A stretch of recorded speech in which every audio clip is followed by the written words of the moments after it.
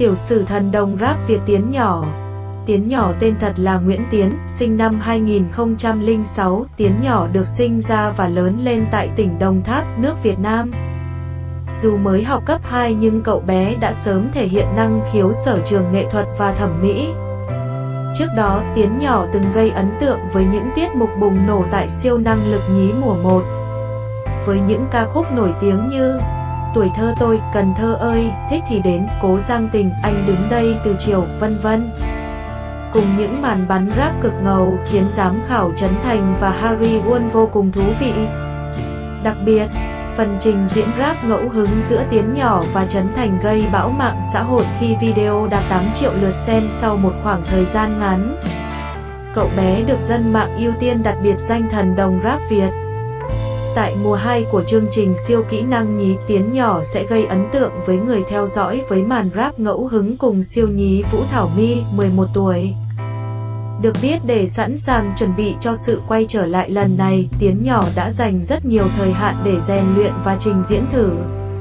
Trong lần trở lại này, Tiến Nhỏ không những mang đến cho những giả một tiết mục tuyệt vời, mà còn giật mình hé lộ một phần ca khúc riêng của mình mang tên Lối Về.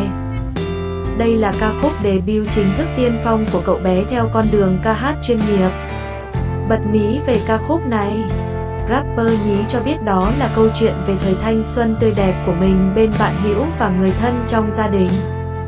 Đó là khoảng chừng thời hạn vô lo và đầy ắp tiếng cười.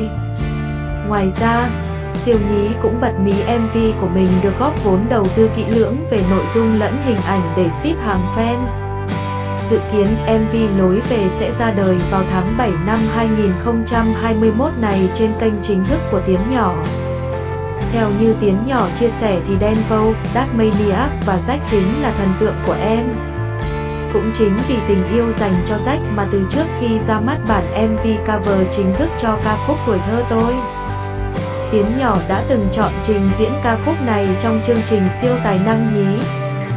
Với sự thể hiện tự tin trong giọng hát và phong cách, ban giám khảo chương trình đã không ngần ngại gọi tiếng Nhỏ là Rách nhí hay thần đồng rap Việt nhí. Thậm chí, tiết mục Tuổi thơ tôi của Rách Nhí trong chương trình cũng xuất hiện trong top trending YouTube và nhận về rất nhiều phản hồi tích cực từ khán giả, đó cũng là một trong những lý do MV này ra đời. Bên cạnh đó, đây là ca khúc mà Tiến Nhỏ cực kỳ yêu thích vì nó thể hiện được những điều gần gũi, giản dị cuộc sống yên bình nơi quê nhà của cậu bé với mong muốn được mang tình yêu quê nhà vào âm nhạc Tiến Nhỏ đã quyết định thực hiện MV cho ca khúc này như một món quà dành tặng bản thân và khán giả.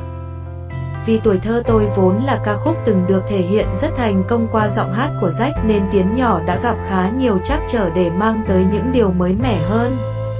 Tiến Nhỏ tâm sự, khó xử lý nhất là những đoạn luyến láy đặc trưng mà vẫn sâu lắng. Tuy nhiên, do ca từ, nội dung bài hát dần gần với cuộc cuộc sống hiện tại của em nên em đã thể hiện được dễ dàng hơn.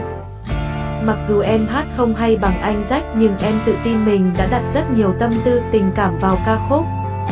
Cover lại một ca khúc của rách ít nhiều sẽ nhận về những phản ứng trái chiều. Vì đây là nam ca sĩ có lượng fan đông đảo bậc nhất V-pop thế nhưng Tiến nhỏ lại không sợ những sự so sánh hay nhận xét tiêu cực vì em còn rất nhỏ, em chỉ hát, chỉ rap vì em yêu thích. Em nghĩ bản thân mình phải còn học hỏi thêm rất nhiều thứ để có thể thành công như như anh Jack. MV tuổi thơ tôi được quay tại chính quê nhà của Tiến nhỏ, đúng như tinh thần ca khúc muốn truyền tải. Xuyên suốt MV, người xem sẽ được sống lại ký ức tuổi thơ với những khung cảnh đồng quê bao la, bát ngát, đâu đó là buổi tụ tập của đám trẻ trong làng với những trò chơi bình dị nhưng vô cùng thân thương. Sau khi MV Tuổi thơ tôi, Tiến nhỏ sẽ tiếp tục bắt tay vào chuẩn bị cho dự án âm nhạc tiếp theo. Lần này, sẽ là một ca khúc riêng chứ không phải một bản cover. Jack Nhí hy vọng rằng khán giả sẽ luôn đón nhận những sản phẩm của mình để có thêm nhiều động lực theo đuổi đam mê.